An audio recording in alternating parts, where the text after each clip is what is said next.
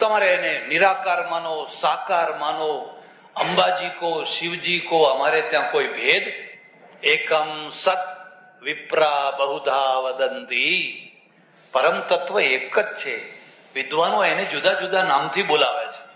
બે ત્રણ ભગવાન છે જ એટલે શ્રદ્ધા છે ને એ અનમોલ રતન છે, જતન કરવાનું. એની, એવા લોકોની પાસે ના બેસો કે તમારી શ્રદ્ધા તૂટી જાય. અમારે ત્યાં લખ્યું છે, કોઈની શ્રદ્ધા તોડવી એ પાપ છે. ન બુદ્ધિ ભેદમ જનેદ જ્ઞાનમ જોશેદ સર્વકર્માણી, વિદ્વાન યુક્ત સમાચરન. અર્જુન, કોઈને બુદ્ધિ ભેદ ના કરાવીશ, એ જે કરતો હોય એ કરવાનું અરે, શ્રદ્ધા તો કેટલા જતનથી મળતી હોય છે.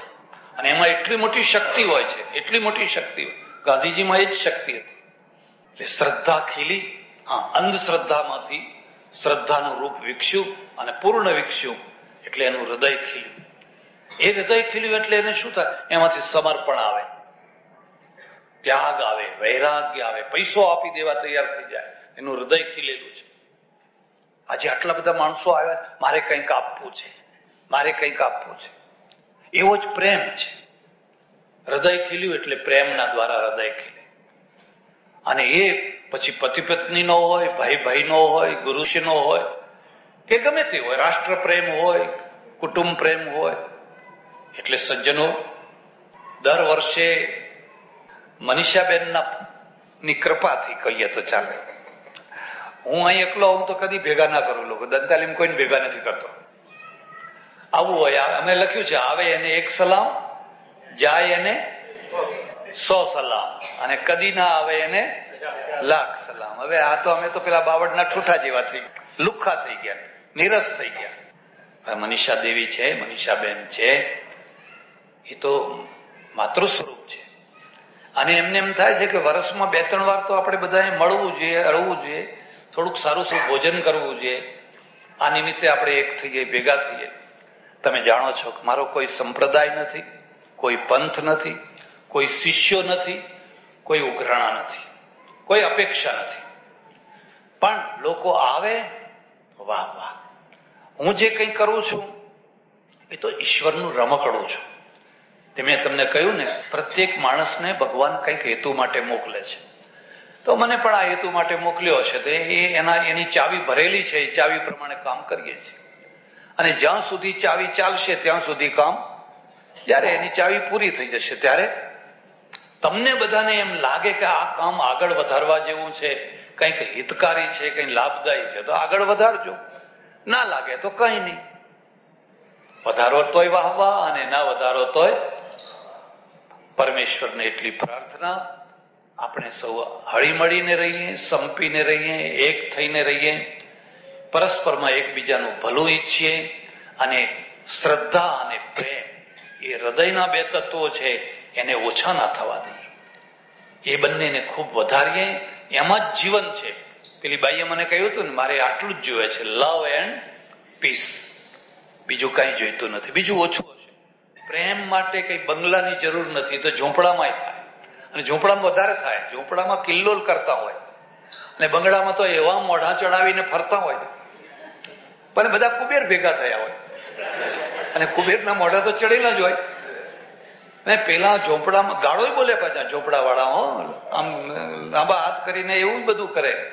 પણ પાછા જોવે તો કિલ્લોલ કરતા હોય. એટલે આ સંદેશો છે, આ સ્નેહ મિલન છે, એટલે પ્રેમનો સંદેશો, શ્રદ્ધાનો સંદેશો લઈને જજો. પરિવાર સાથે પ્રેમ કરજો. પોતાના કુટુંબ સાથે પ્રેમ કરજો. પોતાના દેશ સાથે પ્રેમ કરજો. અને એ રીતે જીવનને ધન્ય બનાવજો. ભગવાન સૌનું ભલું કરે, સૌનું મંગળ કરે. સૌનું કલ્યાણ કરે. આભાર, ધન્યવાદ. હરિઓમ. દર્શન. બળતું હશે. અને આજુબાજુના બધા કહેશે કે, તું તારું જો. બળવા દે. તું તારું જો. તે દિવસે તમને ખબર પડશે કે તમારું ઘર બળશે ત્યારે કોઈ ઓલવવા નહીં આવે. એટલે એક એવા મહાપુરુષો થયા જેમણે પ્રશ્નોને અડ્યા જ નહીં. ગરીબીને કોણ અડ્યું? અને ગરીબી માટે તો બધા દુઃખોની એક જ મહા ઔષધિ અમે ખોળી કાઢી. આ માણસ ગરીબ કેમ છે? તો પૂર્વના કર્મે. આ વિધવા કેમ થઈ? પૂર્વના કર્મે. અને આંખો કેમ નથી? પૂર્વના કર્મે. હવે એક જ મહા ઔષધ જે છે એ બધું પૂર્વના કર્મ. તો આ જન્મના કર્મનો અર્થ શું છે? એટલે સુધી કે કેટલાક મહાપુરુષોએ એવું પણ કહ્યું કૂતરાને રોટલો ના નાખશો. કૂતરાને રોટલો નાખશો, તો એ આપેલો રોટલો ખાવા માટે ફરી કૂતરા થઈને અવતાર લેવો પડશે. કૂતરા થઈને તમારે અવતાર લેવો પડશે. એનો અર્થ એ પણ થયો કે નદીમાં કોઈ ડૂબતો માણસ હોય, કોઈ ડૂબતી સ્ત્રી કે કોઈ છોકરું ડૂબતું હોય, એને બચાવવા ના જશો. જો બચાવશો, તો તમારે પાછું ડૂબવું પડશે પેલો તમને બચાવશે.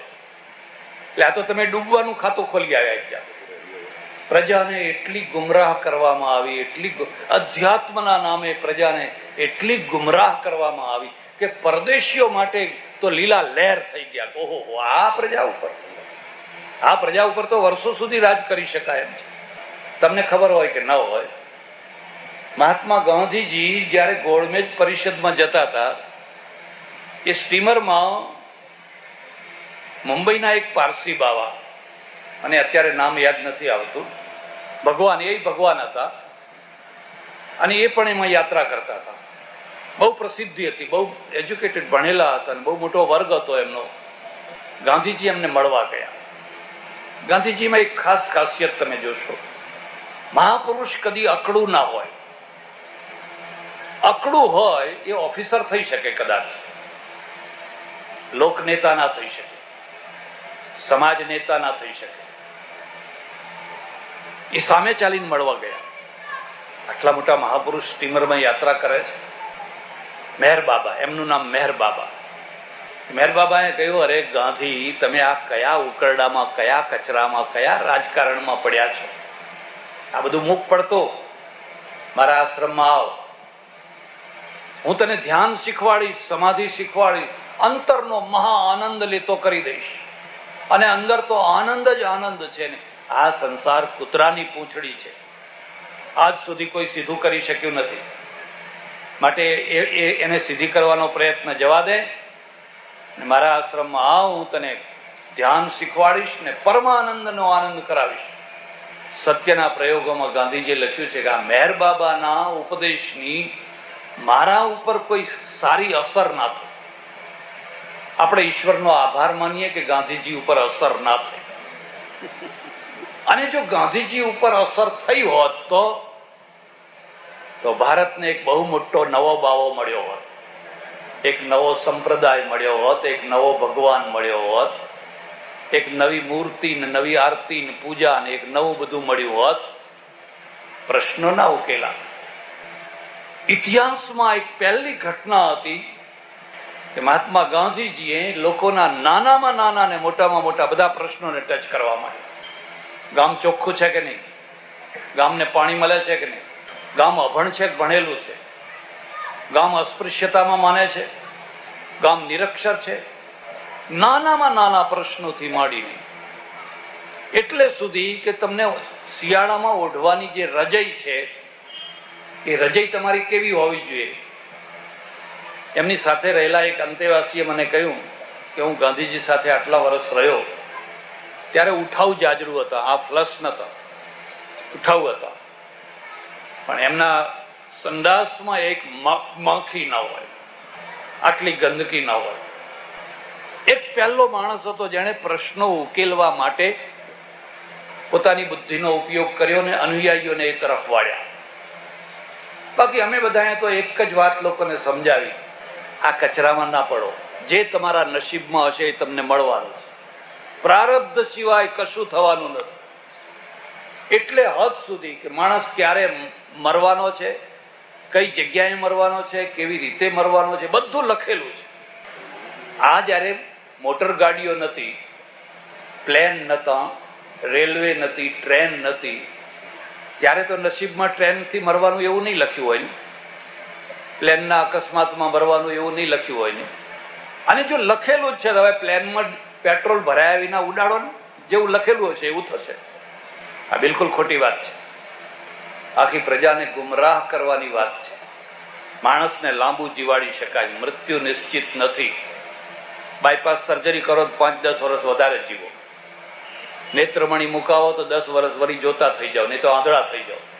પેલા બધા આંધળા થતા જ હતા કિડનીનું ઓપરેશન કરાવો અને કિડની બદલી નાખો, તો વળી પાછા બે પાંચ દસ વર્ષ જીવતા થઈ જાઓ. અને કિડનીનું ઓપરેશન ના કરાવો, તો પાંચ દિવસમાં સોજા આવીને મરી જાઓ. આ આયુર્વેદ છે, આ અમારો ઋષિ માર્ગ છે. ઋષિ કહે છે, તારું આયુષ્ય તું વધારી શકે છે. કોઈ જીવનની દોરી લખેલી નથી. આ આ રેખામાં, તમને ખબર છે આ રેખાઓ કેમ પડી છે? ભલું થજો, કદી કોઈ જ્યોતિષી પાસે હાથ ના બતાવશો. અને તમારા ઘરમાં જો ટીપણું હોય તો અહીંથી ઘરમાં જઈને પહેલા એ ટીપણાને ફાડીને ફેંકી દેજો. આ રેખાઓ બાળક ગર્ભાવસ્થામાં હોય ત્યારે મુઠ્ઠી વાળેલી હોય, એ મુઠ્ઠીના કારણે આ રેખાઓ પડી છે. એક કાગળને આમ બંધ કરીને મૂકી દો. પછી ખોલો તો કાગળમાં રેખાઓ પડી જશે.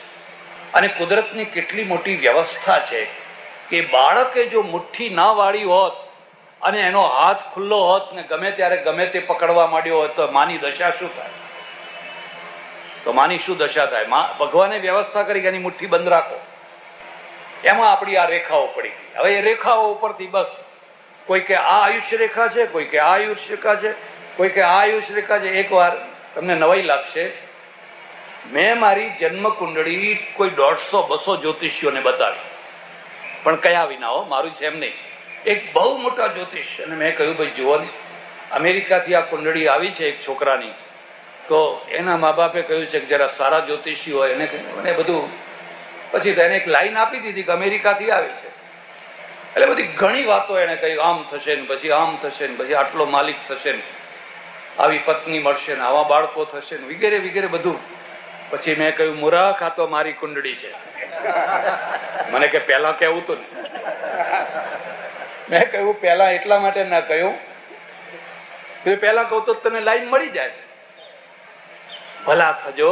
આ તો પરમેશ્વરે એવી વ્યવસ્થા કરી છોકરો નવ મહિના સુધી આમ મુઠ્ઠી વાળીને ગર્ભમાં રહ્યો હોય, એટલે બધી રેખાઓ પડી જાય. હવે એમાં પાછું વગર જોતું એક શાસ્ત્ર ઊભું કરી અને લોકોને ચક્રાવે, ચડાવે રાખો. તમે ધારો તો પ્રજાને સુખી કરી શકો છો. તમે ધારો તો પ્રજાને દુખી કરી શકો છો. તમે ગોંડલ સ્ટેટમાં જઈને જુઓ, પ્રજા સુખી છે, ભણેલી છે.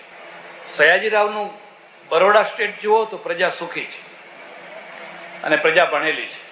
બીજા રજવાડામાં જઈને જુઓ, નવાબીમાં, દરબારીમાં અભણ છે પ્રજા. અને દુખી છે. અરે રાજા સુખમાં બહુ મોટું કારણ છે. રાજા પ્રજાને સુખી કરી શકે છે, પ્રજાને દુખી કરી શકે છે. સમાજ પ્રજાને સુખી કરી શકે છે, સમાજ પ્રજાને દુખી કરી શકે છે. તમે ખોટા સામાજિક પ્રશ્નો ઊભા કરીને બેઠા હો પ્રજા દુઃખી થવાની. અને દુઃખી થતી હતી. પૂછી જુઓ, આ વૃદ્ધ માણસોને પૂછી જુઓ. ચાલીસ, પચાસ વર્ષ પહેલા કોઈ સ્ત્રી ઉઘાડામાંથી બેસી શકતી? ઘર બહાર ના નીકળી શકતી? ઘર બહાર પગ ના મૂકી શકતી? આજે સ્ત્રીઓ ભણી છે. ઉઘાડું માથું રાખીને બેસી શકે છે, પ્રવચન કરી શકે છે, પ્રશ્નો ઉકેલી શકે છે, પોતાની વાત રાખી શકે હમણાં થોડા સમય પહેલા મારે મદુરાઈ જવાનું થયેલું. તો મુંબઈમાંથી પ્લેનમાં બેઠો, એટલે જાહેરાત થઈ કે આ પ્લેન સેવન થ્રી સેવન, એને ઉડાડનાર સૌદામીની દેશમુખ છે. કુમારી સૌદામીની દેશમુખ એને ઉડાડી રહી છે. અને મને એટલો આનંદ આવ્યો વાહ વાહ, મારા દેશની સ્ત્રી પાયલોટ થાય અને આટલું મોટું પ્લેન છે એ ધડધડાટ ઉડાડી રહી છે. અને મને એમ થાય કે એક દિવસ એવો આવશે કે કોઈ પારુલ પટેલ અમદાવાદથી મુંબઈની ફ્લાઇટ ઉડાડતી હશે અને ત્યારે આપણે એમ ગૌરવપૂર્વક કહીશું કે ભાઈ, અમારી દીકરીઓ પણ પાયલોટ થઈ શકે છે. હેલિકોપ્ટર ઉડાડી શકે છે. આ કારગિલની લડાઈમાં બે ચાર સ્ત્રીઓ હેલિકોપ્ટર ઉડાડતી. એ રાતોરાત નથી થયું. કેટલા લોકોએ ગાળો ખાધી છે. કેટલા લોકોએ પથરા ખાધા છે. ત્યારે સ્ત્રીઓ આ કક્ષાએ પહોંચી શકી છે. બાકી પહેલા પચાસ વર્ષ પહેલા શું હતું? કારણ શું છે કે અધ્યાત્મને એવું બનાવી દીધું કે જાણે પ્રશ્નને અડવાનું જ નહીં. અને એક વાત પણ સમજવા જેવી છે. તમે જ્યારે પ્રશ્નોને અડો છો, ઉકેલવાનો પ્રયત્ન કરો છો, અડખા થવાના છે અડખા થયા વિના પ્રશ્નો ઉકેલાય નહીં. તમારે કોઈ પણ પ્રશ્ન ઉકેલવો હોય, થોડાક અડખા થવું જોઈએ. એક માણસ પહેલા બડબડ બડબડ કરતો હતો. સભામાં પ્રશ્નો ઊભા કર્યા એને. આ તો સારું થયું. બે ચાર જુવાનિયાઓ ઊભા થઈ ગયા સરદાર માર્ગ. ગાંધી માર્ગ નહીં હો. ગાંધી માર્ગ લીધો હોત તો જલ્દી ઉકલાત નહીં. પાછા ઉપવાસ કરો ને આમ કરો ને તેમ કરો ને ધરણા દો ને. એમને સરદાર પટેલ નો માર્ગ લીધો ને. માર કર બુદ્ધું ને શું કહેવાય ને? અને કર સીધું. બે મિનિટમાં પ્રશ્ન ઉકલી ગયો. તમે જયારે કોઈ પ્રશ્ન ઉકેલવાનો પ્રયત્ન કરો છો તો અડખા થવાના જ. એટલે ઘણા લોકો એમ સમજે છે કે આપણે લોકસભામાં ગયા કે વિધાનસભામાં ગયા કે મંત્રી થયા કે કંઈ સરપંચ થયા કે પ્રમુખ થયા, કંઈ કરવું જ નથી. કોઈને ટચ નહીં કરવા. પાંચ વર્ષ પૂરા કરી દો પાંચ વર્ષ પૂરા કરી દો તો આવનારાને પછી જે કરવું હશે, અહીં રોડ ઉપર કેટલી કબરો છે, કેટલા મંદિરો છે, કેટલી કેટલી વસ્તુ, બધું નડે છે, પણ કોણ ઉકેલે? કોણ ઉકેલે? જેને અળખા થવાની હિંમત હોય એ જ માણસ પ્રશ્ન ઉકેલી શકે. કોઈ વાર સુરત જજો. સુરત એટલે આખા ભારતનું ગંધાતામાં ગંધાતું શહેર. માકડ, મચ્છર, ચાંચડ, ગંદકી, ગલીઓ ફલીઓ બીજું, ત્રીજું. અહીં ખોડિયાર માતા છે, અહીં હનુમાનજી છે, અને હનુમાનજીમાં પાછા રોકડિયા હનુમાન છે. પેલા પીર બાપજી છે, અહીં ફલાણા બાપજી છે, અહીં ફલાણા બાપજી છે. કોઈએ છજુ બાર કાઢ્યું છે કોઈ અહીં રોક્યું છે, કોઈએ કંઈ કર્યું છે, કોઈ કોઈ બોલી નથી છે સૌ કે છે, આપણે આપણો ટાઈમ પાસ કરવાનો. બે વર્ષ રહેવું, પાંચ વર્ષ રહેવું, કાલ બદલી જવું છે ને નકામાં અડખા થવું. આ પાછું અમે શીખવાડ્યું કાલ મરી જવું છે. માટે કોઈને કશું ખોટું ના લગાડો. બસ, કાલ મરી જવું. અરે, આજ મરી જાવ ને. કાલ મરવાની જગ્યાએ તમે આજ મરો, તો ઉલટું સારું થાય. ત્યાં એક ઓફિસર આવ્યો એનું નામ રાવ. ખરું ને? કમિશનર આવ્યો રાવ. અને રાવે છે ને પ્રશ્નો ઉકેલવા માંડ્યા. પહેલા જ વગર કાયદે બિલ્ડિંગ આખું બાંધેલું, ત્યાં જઈને બુલડોઝર અટકાવ્યું. બુલડોઝર અટકાવી દીધું કહ્યું, હવે એ તો આખો દાદો, આખો ગુંડો માણસ અને એના પાછળ રાજકારણ. એટલે એને રિવોલ્વર કાઢ્યું રિવોલ્વર કાઢીને ગઈ રાવ, જો જિંદા જીવતા રહેવું હોય તો ઘર ભેગો થઈ જા. બિલ્ડિંગને જો હાથ અડાડ્યો. એટલે રાવ છે ને વાઘની માફક કૂદીને એનો કોલર પકડીને પિસ્તોલ લગાવી દીધી એના મગજ ઉપર. તું તો ગોળી પછી મારીશ, પણ હું હમણાં પહેલી મારીશ. અને પેલો ઢીલો થઈ પરાક્રમ વિના રાજ ના કરી શકાય. પરાક્રમ હોય તો જ રાજ કરી શકાય. અને દુર્ભાગ્ય એ છે કે જેનામાં પરાક્રમનો છાંટો નથી, મુત્સદ્દીગીરીનો છાંટો નથી, મોરલનો છાંટો નથી, મોટામાં મોટી ખુરશીઓ પર જઈને બેસી ગયા છે. હવે એક જ ઈચ્છે છે પાંચ વર્ષ પૂરા કરો, પાંચ વર્ષ પૂરા કરો. પ્રશ્નોને અડવાનું નહીં. પ્રશ્નોને અડવાનું નહીં. આ દરગાહો રહેવા દો, આ હનુમાનજીને રહેવા દો, આ ખોડિયાર માતાને રહેવા દો, બધું રહેવા દો. આપણે કશાને અડવું જ નથી. તમને ખબર છે, સરદાર પટેલ જ્યારે અમદાવાદના મેયર થયેલા અને ત્યારે એમણે એવા રોડ બનાવેલા કે લોકોએ કહ્યું, આ મધમાખીનો મધપૂડો છે. આને છંછેડાય નહીં. આ તો મધમાખીઓનો વધપૂડો છે. સરદારે કહ્યું, મારે આ જ કામ કરવાનું છે. ખબર નહીં, હું કાલે મેયર હોઉં કે ન હોઉં, પાંચ વર્ષ પૂરા થાય કે ના થાય. પણ પ્રશ્નો ઉકેલીને કાલ હું મરી જતો હું તો મરી જાઉં. પણ મારે પ્રશ્નો ઉકેલીને, અને એમાંથી આ મોટા મોટા રોડો સરદાર પટેલના સમયમાં થયા. એ બધી મધમાખીઓ ચે ચે ચે, બણ બણ બણ કરીને, જાઓ, બીજા મધપૂડો બનાવો. એમને ખબર છે કે સામે કોણ છે. મધમાખીઓને ખબર હોય છે. પણ જો તમે ડરી ગયા અને કાયર થઈ ગયા, હરિનો માર્ગ છે શુરાનો, નહીં કાયરનું કામ જોને, પ્રથમ પહેલા મસ્તક મૂકી, વર્તી લેવું નામ જોને, એ હરિનો માર્ગ બીજો કોઈ નહીં, આ માર્ગ. અને હું એમ માનું છું કે આ ખુરશી છે ને, એ પ્રશ્નો ઉકેલવાની ખાસ જગ્યા છે. તમે ખુરશી વિના પ્રશ્નો ન ઉકેલી શકો. સુરત ગંધાતું છે ગંધાતું છે કેટલા લોકો લખતા હતા કેટલા લોકો પ્રવચન કરતા એથી કઈ ગંદકી મટી નહીં. પણ એક માણસ એવો આવ્યો કે જેને ના પ્રવચન કર્યું, ના લખ્યું કશું. એને ફટાફટ બુલડોઝરો અટકાવવા માંડ્યા અને પિસ્તોલ લઈને સામે થઈ ગયો. પહાડની બાબક ઊભો રહ્યો. બધા ગુંડો આજે જઈને સુરતને જુઓ. પેરિસ જેવું બનાવ્યું. હરિનો માર્ગ છે, શુરાનો, નહીં કાયરનું કામ જો રાવ અમર છે. એ જીવતો છે તો એ અમર છે. અને કદાચ સુરતમાં એનો ભોગ લેવામાં આવ્યો હોત, તો એ વધારે અમર થઈ ગયો હોત. મર્યા કયા? જે લોકો પાંચ વર્ષ સુધી નમાલા થઈને બેસી રહ્યા. એક ગુંડા આવ્યું ગાના ઉપર સહી કરી, હા, સાહેબ, આવો ચા મંગાવો આપના માટે? Coca Cola મંગાવો? એ મરી ગયા એ. ખુરશી છે એ પ્રશ્નો ઉકેલવાની જગ્યા છે. ભલા થજો. એના પ્રત્યે મોહ ના રાખશો, પણ એના પ્રત્યે ઘૃણા પણ ના રાખશો. જો તમે એના પ્રત્યે મોહ રાખ્યો, તો તમે નક્કામાં થઈ જશો. અને જો તમે એના પ્રત્યે ઘૃણા રાખી, તો દુશ્મનોને ખુરશી ઉપર બેસાડતા થઈ જશો. કારણ કે આપણે ઘૃણા કરી, અમે શીખવાડ્યું, ભાગો ભાગો, ખુરશીથી દૂર ભાગો. દુશ્મનો આવીને બેસી ગયા. અને દુશ્મનો બેસે એ પોસાય, પણ ભાઈ બેસે એ ના પોસાય. ભાઈ બેસે એ ના પોસાય. ભલે, બહારનો કોઈ દુશ્મન આવીને બેસી જાય, તો કશો વાંધો. એટલે લોટ ઓફ મહાપુરુષો જે અહીં થયા ને, એ પ્રશ્નોને નહીં અડનારા થયા. અને એમનો ઉપદેશ જ એવો, પ્રશ્નોને અડો જ નહીં. જોયા કરો, દ્રષ્ટા થાઓ દ્રષ્ટા થાઓ. અમે બધાને આજ ઉપદેશ આપીએ, દ્રષ્ટા થાઓ. હું વૃંદાવનમાં રહું, અને વૃંદાવનમાં જે આશ્રમમાં રહું દાળ ને રોટલી. અમે ભણ્યા તો મારું મન જાણે છે. મેં કશી સગવડ નથી ભોગવી. પછી આઠ, દસ સાધુઓ અમે જઈએ. એટલે ત્યાં ચોકમાં આઠ, દસ ગાયો બેઠી હોય. ધણી વિનાની, માલિક વિનાની, રખડતી, ભટકતી, લીમડાના છાયા આવીને બેઠી હોય. એમાં એક ગાયને કોઈએ મારેલું અહીંયા. આટલો મોટો ઘા પડી ગયેલો. કાગડો એને ખેંચે, એના એના માંસને ખેંચે ને ગાય બિચારી માથું હલાવી હલાવીને, પૂછડું હલાવી હલાવી થાકી ગઈ.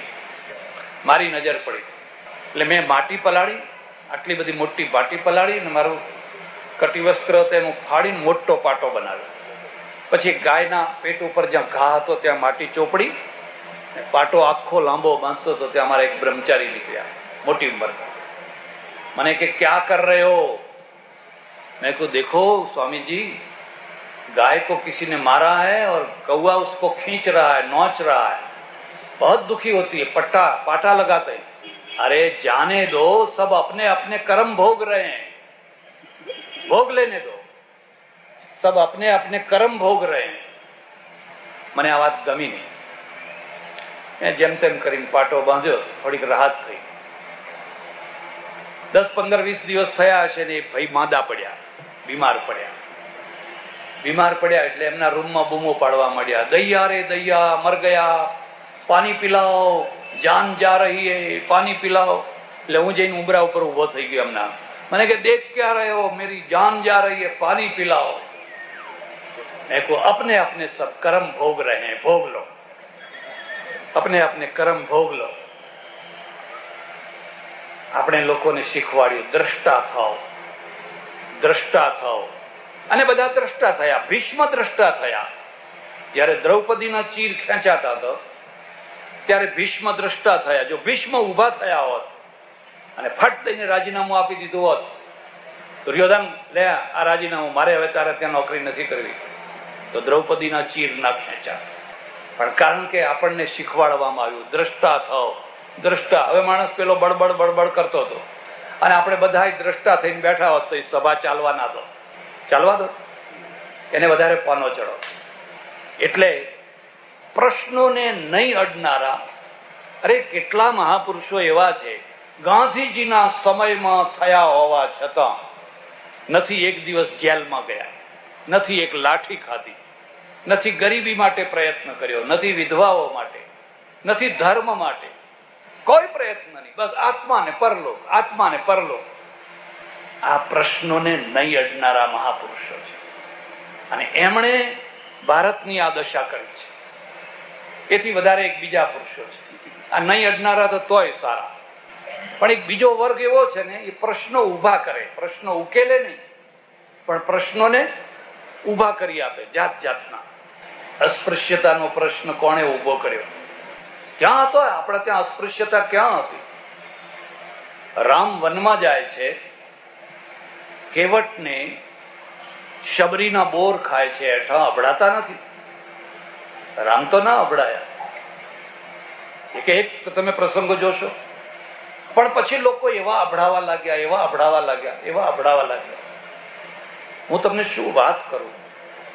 હું મથુરામાં રહું. બાજુમાં જ એક મંદિર, એક સંપ્રદાયનું. ત્યાં લાકડા ધોવે, લાકડા. તો મેં પૂછ્યું, મેં કહ્યું, ભાઈ આ લાકડા કેમ ધોવો છો? પછી તડકે સૂકવે. મને કે, પતા નહીં कौन उसको उठा के लाया होगा कौन उसको छुआ होगा ये लकड़ी अशुद्ध है उसको शुद्ध करते हैं હવે ધુમાડો થાય પેલા પલળેલા લાકડા હોય ને એટલે પછી એમાંથી ધુમાડો થાય હવે આ પ્રશ્ન ઉભો કર્યો કે પ્રશ્ન ઉકેલ્યો હજુ આટલે સુધી તો ઠીક છે શુદ્ધતાની પરાકાષ્ઠા એટલી કક્ષાએ પહોંચી કે પેલી ખાંડની ગુણ આવેલી મંદિરમાં તે જૈન જમનાજીમાં ઝબકોળવામાં જાય કે મેં પૂછ્યું, ભાઈ, આ ખાંડની ગુણ કેમ જબકોડો છો? મને કે, અશુદ્ધ હે, ઉસકો શુદ્ધ કરતે ઓર રહેને દો, ઓર થોડા ઓર રહેને દો. હિન્દુ પ્રજાને બરબાદ કરી નાખી. જે લોકોએ આટલી આભડછેટ ફેલાવી અને એ આભડછેટ વાળાના પગ પૂજાવા લાગ્યા લોકો હા મહારાજ કે પવિત્ર છે ઓ મહારાજ પવિત્ર છે. ગુરુ ગોવિંદસિંહનું લશ્કર મોગલો સાથે લડે ત્યારે તો પાણી ના મળે ખાવાનું ના મળે. બહુ તકલીફ. આજના જમાનામાં તકલીફ. આ કારગીલમાં લડ્યા બિચારા ભૂખે તરસે લડવા પડે. પછી જમાનામાં તો બહુ મોટી તકલીફ. કોઈએ ફરિયાદ કરી. સમય ઉપર ખાવાનું નથી મળતું, સમય ઉપર પાણી નથી મળતું. અમે લડીએ, ભૂખ્યા, તરસ્યા કેવી ગુરુ ગોવિંદસિંહે સમાધાન આપ્યું. શીખો, મોગલોના રસોડા ઉપર તૂટી પડો. અને મોગલોની જે ડેપચીઓ હોય ને રાંધેલી, એમાં જે રાંધ્યું હોય વેજ નોન વેજ જે રાંધ્યું હોય, બધું ઉપાડી લાવો. અને એમાં કટાર ફેરવો, બોલો વાય ગુરુદી ફતે વાય ગુરુદા ફાલસા ને ખાઈ જાઓ, કશું થવાનું નથી. પ્રશ્ન ઉકેલ્યો, એટલે શીખો મહાન બન્યા. આખી દુનિયામાં ફેલાઈ ગયા. આપણે વાત વાતમાં અભડાઈ ગયા. પટેલ પટેલનું ના ખાય, બ્રાહ્મણ બ્રાહ્મણનું ના ખાય. કોઈ કોઈ સ્વાસ્થ્ય આવે તોય અભડાઈ જાય, તોય વટલાઈ જાય. આ તો પ્રશ્નો ઊભા કર્યા તમારા. પ્રશ્નો ઉકેલ્યા નહીં. વગર જોતા પ્રશ્નો ઊભા કર્યા જેમણે મંદિરમાં કરોડો રૂપિયાનું સોનું ભેગું કર્યું. તમને ખબર નહીં હોય. સોમનાથના મંદિરમાં બસો મણની સોનાની સાંકળ ઘંટ વગાડવામાં હતી અને સોનું છે ને એની ગંધ બહુ જલ્દી આવે. એ સોનાની ગંધ ઠેઠ ગજની પહોંચીને ગજનીનો માણસ આવી સત્તર વાર મંદિરો લૂંટી ગયો. સત્તર વાર.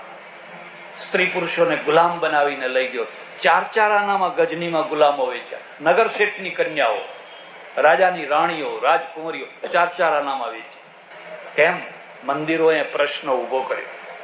જો મંદિરોમાં આવનારું સોનું છે, એ ગરીબોના પાસે વપરાતું હોત ને તો મંદિરોનો કોઈ પ્રશ્ન ઊભો ન ભારતની ગુલામી તો મંદિરોના સોનામાંથી આવી. કારણ કે આપણે ઢગલા ઉપર ઢગલો, ઢગલા ઉપર ઢગલો, ઢગલા ઉપર ઢગલો. મને એક સજ્જને કહ્યું કે ગુજરાતમાં એક મંદિર છે, નામ નહીં દઉં. નવ અબજ રૂપિયાનું ઝવેરાત એમાં છે. નામ એટલા માટે નથી જોતો વરી આમાંથી કોઈ પાછો. નવ અબજ રૂપિયાનું જવેરાત પડ્યું છે. અને રોજ પેલા પહેરાવાળા છે ને બધા જે બે બે, ચાર ચાર ઊભા હોય છે. મેં કહું આ ઝવેરાત ક્યાં સુધી રહેશે? જ્યાં સુધી કોઈ મોહમ્મદ ગજની ના આવે, ત્યાં સુધી આ પહેરો ભરાયા તમે દક્ષિણના મંદિરો જઈને જુઓ. મલિક કાફુર છે. અલાઉદ્દીન ખિલજીના લશ્કરને જ્યારે પગાર આપવાનો ન રહેતો અને પૈસાની તંગી પડતી, ત્યારે મલિક કાફુર દક્ષિણના મંદિરો લૂંટવા જતો.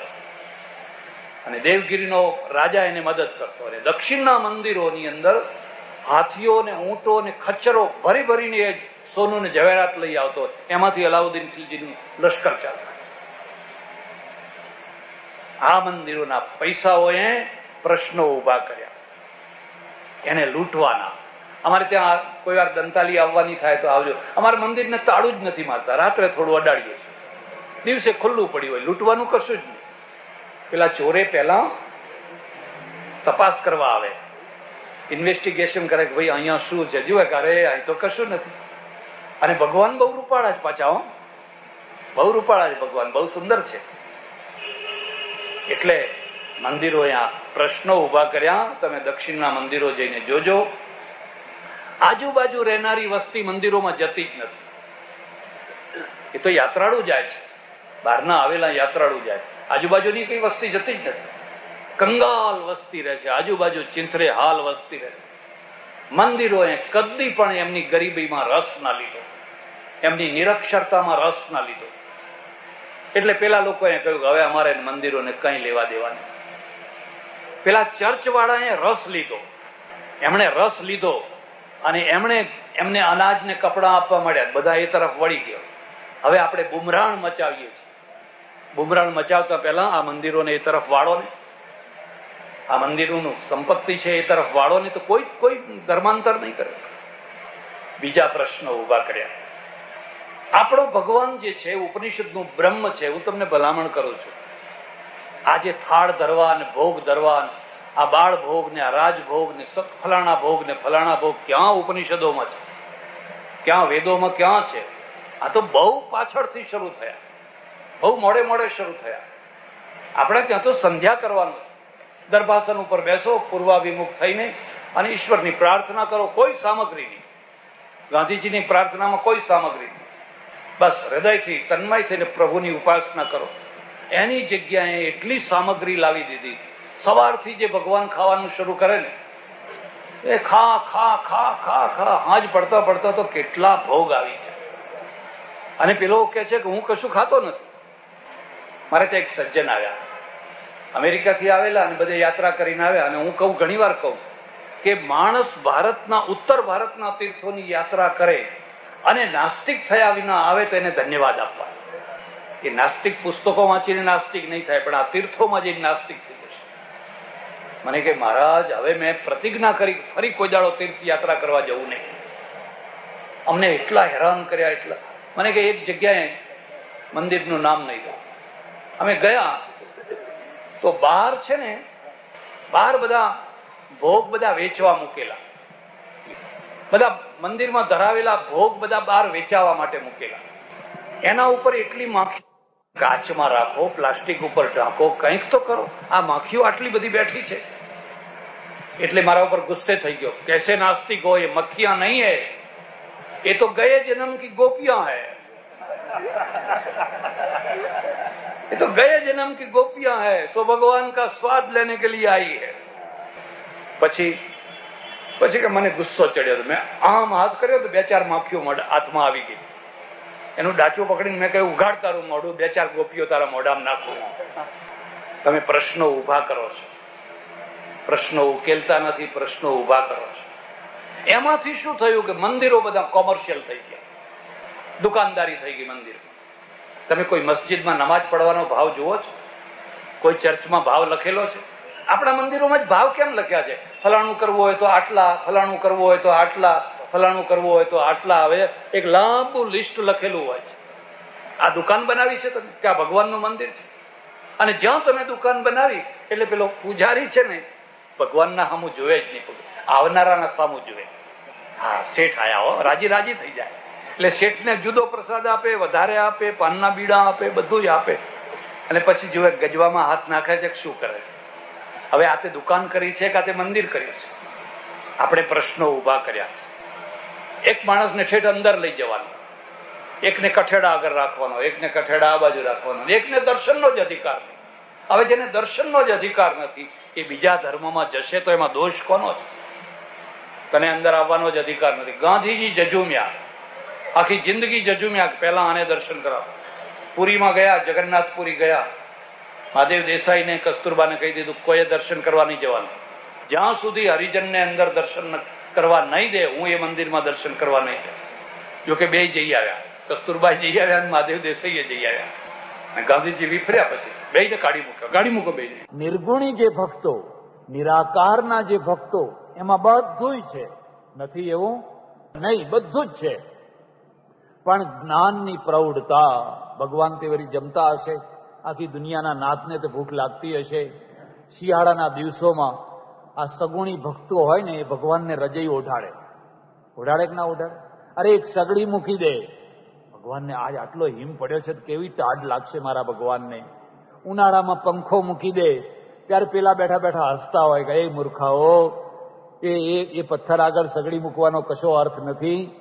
એને રજઈ ઉઢાડવાનો કઈ અર્થ નથી. એમાં પંખો ફેરવવાનો કશો અર્થ બરાબર છે. એનું કહેવું તો બરાબર. ક્યારેક જ્યારે તમે એને પથ્થર માનો, ત્યારે પણ જો એને પથ્થર ના માનીને પ્રભુ માનો તો તમે એને ઓઢાડો તમે એને બધી પ્રક્રિયા કરો, તો એ પથ્થરમાં બેઠેલા ભગવાનને ખબર પડે કે ના પડે કે આ એક માણસ મારા આગળ પોતાની લાગણીઓને કાલાવાલા કરીને ખાલી કરી રહ્યો છે એવી ખબર પડે કે ના પડે? પડે કે ના પડે? અકબરના સમયમાં એવું થયેલું. અકબરના સમયમાં કે છે કે બિરબલને ને અકબરને ઘણીવાર આવો સંવાદ થઈ જાય. અને સંવાદમાં બિરબલને એમ કહેલું કે આ તમે બધા મૂર્તિના આગળ જઈને હાર ચડાવો ને ફૂલ ચડાવો ને નૈવેદ્ય ધરાવો ને, એથી કઈ ભગવાન પ્રસન્ન થવાનો હતો? એ માથાકૂટ શું કામ કરો છો? કે ના, ભગવાન જરૂર પ્રસન્ન થાય. ભગવાન તો બધું જાણે છે બધું સમજે કે ના ના થાય. હું તમને પ્રૂફ કરી બતાવીશ. પણ મને બાર મહિનાનો ટાઈમ આપો. બાર મહિનાનો મને ટાઈમ ગલે બાર મહિનાનો ટાઈમ તને આપ્યો. પછી કર્યું એવું કે મહેલની અંદર જે હજારો દાસીઓ, એ દાસીમાંથી એક એક પાત્ર દાસી જેને લાગ્યું કે આજ આ કામ કરી શકે એવી છે, જરા દેખાવમાં સરસ અને બધી રીતે એને લાગ્યું કે આ કામ કરી શકે એવી છે. એ દાસીને સાધી બિરબલે. એને કહ્યું તારે એક કામ કરવાનું. તું ક્યાંય પૈસા આપીશ, પણ મારું એક કામ કરવાનું. બાદશાહનો ફોટો તારે મૂકવાનો. અને ફોટાના આગળ દિવસમાં બે, ત્રણ, ચાર વાર તારે જઈને ફૂલ મૂકવાના, માળા પહેરાવવાની, પંખો નાખવાનો, કંઈક ધરાવવાનું, આમ હાથ લાંબા કરી કરીને ફોટાને ખવડાવવાનું, આવું બધું તારે કરવાનું. બોલ, કરીશ? પણ ભાવથી કરવાનું. મેં કે કરીશ. અને દાસીને પણ બાદશાહના પ્રત્યે થોડો ઘણો ભાવ ખરો. અંતે તો એને પણ થોડોક પ્રેમ ખરો, પણ બિચારી દાસી એટલે દાસીને તો કઈ આટલી કક્ષા સુધી પહોંચી શકે પેલાનો સ્તર ક્યાં અને આનો સ્તર ક્યાં, એટલે એની લાગણીઓ એને પ્રેમને અંદર જ દબાવી રાખેલી, પણ બિરબલ ઓળખી ગયેલો. બસ, પછી તો એક રૂમ જાળીવાળો એમાં બાદશાહનો ફોટો શણગારીને મૂક્યો અને સવારે, બપોરે, સાંજે જાય, કાલાવાલા કરે, ફૂલ મૂકે, માળા ધરાવે, પંખો નાખે, કંઈક ખવડાવે, ખાવું પડશે, પીવું પડશે, દૂધ પીવું પડશે, આગ્રહ કરી કરીને કરે. બસ, આવું કર્યા જ કરવાનું. મહિનો, બે મહિના, ત્રણ મહિના, ચાર મહિના, પાંચ મહિના, છઠ્ઠા મહિને બાદશાહ ફરતો ફરતો નીકળ્યો ને બારીમાંથી આમ જોયું. અને બારીમાંથી જોયું તો એક દાસી એના ફોટા આગળ આ બધું કરી રહી છે. ખાના, આટલું તો ખાવું જ પડશે, આટલું દૂધ તો પીવું જ પડશે, તમે નહીં પીવો તો હું એ નહીં પીવું. અને પછી આમ પંખો નાખે ને કંઈ કરે અને બાદશાહને તો ખસવાનું મન ના થાય. ઊભો ને ઊભો જોયા કરે. ઊભો ને ઊભો જોયા કરે. પછી તો એવું થઈ ગયું કે ટાઈમ થાય એટલે આવી જ જાય અને પેલીને ખબર ના પડે એમ ચૂપચાપ જોયા કરે. બે, ત્રણ મહિના સુધી એને જોયું, કેટલી વાર પેલી દાસી રડે, કેટલી વાર માથા કૂટે, નહીં ખાવું તમારે ખાવું જ પડશે, આવું બધું કરે. બરાબર ત્રણ મહિના સુધી આ બાદશાહે જોયું અને ત્રીજા મહિને એ રૂમની અંદર જઈ અને દાસી જ્યાં કાલાવાલા કરતી હતી, એને ઊભી કરી અને કહી દીધું કે, આજથી તું મારી બેગમ. આજથી તું મારી બેગમ, એને બેગમ બનાવી દીધી. બિસ્તરને બેગમ બનાવી દીધી. અને પેલી તો રાજી રાજી થઈ ગયું, બિરબલનું ભલું થજો કે મને આ કામ સોંપ્યું. અને બિરબલ પૈસા આપશે, હવે બિરબલના પૈસાને ઉલટા હું બિરબલને આપું, મને બેગમ બનાવી દીધી. નહીં તો અહીં કચરા પોતા કરતા કરતા આખી જિંદગી પૂરી કરવાની હતી, પણ આ કચરા પોતા કરતા કરતા બાદશાહના સિંહાસનની જોડે જોડ બેસવાનો એને અધિકાર મળી ગયો. અને નવી બેગમ આવે એટલે એને બધા કરતા માન વધારે મળે કે ના મળે? પેલી જૂની બેગમો, એ બધી, એ કહેવાય નવી આવેલી હોય, એટલે એને તો બહુ માનપાન મળે ને, એનો ભાવ પણ એવો હતો. વરસ પૂરું થયું. પેલા બિરબલને કહ્યું કે અલ્યા તે કહ્યું હતું કે એક વર્ષમાં હું તમને બતાવીશ. તે કંઈક બતાવતો ખરો? કંઈ શું તે કંઈક કંઈક કંઈ છે તારી પાસે પ્રૂફ કે, હા, પેલી દાસી બેગમ થઈ ગઈ એમ. હે? શું થયું? કે નહીં? પેલી દાસી હતી ને કચરા પોતા કરનારી, એ બેગમ થઈ ગઈ. હા ઓ તારું ભલું થાય. આ બધા તારા કામ હતા કે? હા, મારા કામ હતા. અને બિરબલ કે છે, તમે તો એને છ મહિને જોઈ. અને છ મહિને જોઈ તમારા એ ફોટા આગળ વાલ કરતી હતી, ભાવ વ્યક્ત કરતી હતી. તોય તમારું મન જીતાઈ ગયું કે ના જીતાઈ ગયું? પણ પરમેશ્વરને જોતા કઈ છ મહિનાનો ટાઈમ લાગતો, એની મૂર્તિ આગળ, એના ફોટા આગળ, કોઈ સાચા હૃદયથી, કોઈ સાચા ભાવથી પત્રમ પુષ્પમ ફલમ તોયમ એ કંઈ ને કંઈ મૂકીને કાલાવાલા કરે તો ભગવાનને કઈ છ મહિનાની વાર લાગતી એ તરત જ તદહમ ભક્ત્યુપરિતમશ્નામી પ્રયતાત્મન આ વૈષ્ણવ માર્ગ થયો આ કઈ પદ્ધતિ થઈ વૈષ્ણવ પરંપરા ભક્તિ માર્ગમાં પ્રેમ લક્ષણા ભક્તિની પરંપરા આ આ પરંપરામાં બુદ્ધિની પ્રધાનતા કરતા લાગણીની પ્રધાનતા વધારે બુદ્ધિની જરૂર ખરી પણ થોડીક ઓછી હશે તોય ચાલશે. પણ પ્રધાનતા શાની? હૃદયની. લાગણીની પ્રધાનતા. પ્રેમમાં બુદ્ધિની પ્રધાનતા હોય કે હૃદયની પ્રધાનતા હોય? હૃદય